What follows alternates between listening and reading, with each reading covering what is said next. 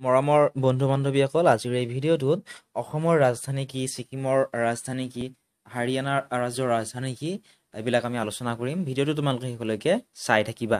যদিহে এতিয়ালৈকে আমাৰ এই ইউটিউব চেনেলটো ছাবস্ক্ৰাইব কৰা নাই তেনেহ'লে চেনেলটো ছাবস্ক্ৰাইব কৰি ল'বা আৰু কাষৰ থকা ঘণ্টা বুটামটো টিপি অল কৰি ল'বা। তেতিয়া মই দিয়া ভিডিঅ'ৰ নটিফিকেশ্যন তোমালোকে পোনপ্ৰথমে পাবা। এক নম্বৰটো লৈছোঁ আমি ছিকিমৰ ছিকিম ৰাজ্যৰ ৰাজধানী কি?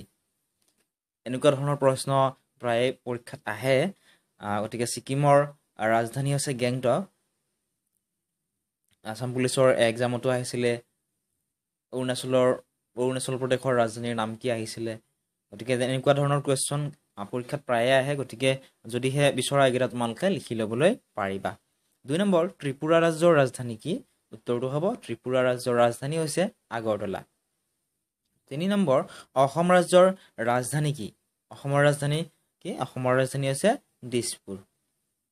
চাৰি নম্বৰ হাৰিয়ানা ৰাজ্যৰ ৰাজধানী কি?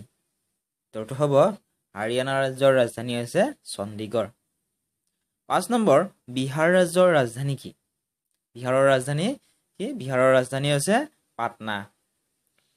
নেক্সট ছয় নম্বৰ পুণ্ডেশ্বৰী কেন্দ্ৰীয় সাহিত্য অঞ্চলৰ ৰাজধানী কি? উত্তৰটো হ'ব পুণ্ডেশ্বৰী কেন্দ্ৰীয় সাহিত্য অঞ্চলৰ ৰাজধানী হৈছে পুণ্ডেশ্বৰী সাত নম্বৰ কেন্দ্ৰীয় সাহিত্য অঞ্চল আন্দামান আৰু নিকোবৰৰ ৰাজ্যৰ ৰাজধানী কি? উত্তৰটো হ'ব কেন্দ্ৰীয় সাহিত্য অঞ্চল আন্দামান আৰু নিকোবৰ ৰাজ্যৰ ৰাজধানী হৈছে পৰ্ট ব্লেয়াৰ। আঠ নম্বৰ প্ৰশ্ন মণিপুৰ ৰাজ্যৰ ৰাজধানী কি? মণিপুৰ ৰাজ্যৰ ৰাজধানীখনৰ নাম হৈছে ইম্ফল। তোমালোকে এনেকুৱা ধৰণৰ ইম্পৰ্টেণ্ট নোটছ আৰু পি ডি এফবিলাক আমাৰ ফেচবুক আৰু টেলিগ্ৰাম গ্ৰুপত পাবা ডেছক্ৰিপশ্যনত লিংকবিলাক দিয়া আছে তোমালোকে ফ'ল' কৰি ল'বা। ন নম্বৰ প্ৰশ্ন নাগালেণ্ড ৰাজ্যৰ ৰাজধানী কি? নাগালেণ্ডৰ ৰাজধানী হৈছে কুহিমা। দহ নম্বৰ প্ৰশ্ন পশ্চিমবংগ ৰাজ্যৰ ৰাজধানী কি? পশ্চিমবংগৰ ৰাজধানী হৈছে কলকাতা। এঘাৰ নম্বৰ মিজোৰাম ৰাজ্যৰ ৰাজধানী কি? মিজোৰামৰ ৰাজ্যৰ ৰাজধানী হৈছে আইজল। বাৰ নম্বৰ উত্তৰ প্ৰদেশ ৰাজ্যৰ ৰাজধানী কি? উত্তৰ প্ৰদেশ ৰাজ্যৰ ৰাজধানীৰ নামখনৰ নাম হৈছে লক্ষ্ণৌ। তেৰ নম্বৰ প্ৰশ্ন অন্ধ্ৰপ্ৰদেশ ৰাজ্যৰ ৰাজধানী কি? অন্ধ্ৰপ্ৰদেশ ৰাজ্যৰ ৰাজধানীখনৰ নাম হৈছে অমৰাৱতী। চৈধ্য নম্বৰ মধ্যপ্ৰদেশ ৰাজ্যৰ ৰাজধানী কি? উত্তৰটো হ'ব মধ্যপ্ৰদেশ ৰাজ্যৰ ৰাজধানী হৈছে ভূপাল। পোন্ধৰ নম্বৰ প্ৰশ্ন পাঞ্জাৱ ৰাজ্যৰ ৰাজধানী কি? উত্তৰটো হ'ব পাঞ্জাৱ ৰাজ্যৰ ৰাজধানী হৈছে চণ্ডীগড়। ষোল্ল নম্বৰ দমন আৰু দিউ কেন্দ্ৰীয় সাহিত্য অঞ্চলৰ ৰাজধানী কি? উত্তৰটো হ'ব দমন আৰু দিউ কেন্দ্ৰীয় সাহিত্য অঞ্চলৰ ৰাজধানী হৈছে দমন। সোতৰ নম্বৰ অৰুণাচল প্ৰদেশ ৰাজ্যৰ ৰাজধানী কি? উত্তৰটো হ'ব অৰুণাচল প্ৰদেশ ৰাজ্যৰ ৰাজধানী হৈছে ইটানগৰ। নেক্সট প্ৰশ্ন উৰিষ্যা ৰাজ্যৰ ৰাজধানী কি? উৰিষ্যা ৰাজ্যৰ ৰাজধানী হৈছে ভুৱনেশ্বৰ। ঊনৈছ নম্বৰ কেন্দ্ৰীয় সাহিত্য অঞ্চল চণ্ডীগড়ৰ ৰাজধানী কি? উত্তৰটো হ'ব কেন্দ্ৰীয় সাহিত্য অঞ্চল চণ্ডীগড়ৰ ৰাজধানী হৈছে চণ্ডীগড়। বিছ নম্বৰ প্ৰশ্ন কেৰেলা ৰাজ্যৰ ৰাজধানী কি? উত্তৰটো হ'ব কেৰেলা ৰাজ্যৰ ৰাজধানী হৈছে তিৰুৱন্তপুৰম একৈছ নম্বৰ দাদৰা আৰু নগৰ হাভেলী কেন্দ্ৰীয় সাহিত্য অঞ্চলৰ ৰাজধানী কি? উত্তৰটো হ'ব দাদৰা আৰু নগৰ হাভেলী কেন্দ্ৰীয় সাহিত্য অঞ্চলৰ ৰাজধানী হৈছে চিলভাছা। বাইছ নম্বৰ প্ৰশ্ন গোৱা ৰাজ্যৰ ৰাজধানী কি? উত্তৰটো হ'ব গোৱাৰ ৰাজধানী হৈছে পানাজী।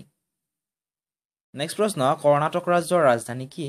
উত্তৰটো হ'ব কৰ্ণাটক ৰাজ্যৰ ৰাজধানী হৈছে বাংগালোৰ। চৌব্বিছ নম্বৰ ছত্তীশগড় ৰাজ্যৰ ৰাজধানী কি?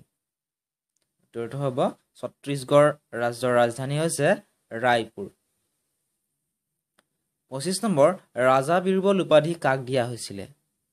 উত্তৰটো হ'ব ৰাজা বীৰবল উপাধি দিয়া হৈছিলে মহেশ দাসক।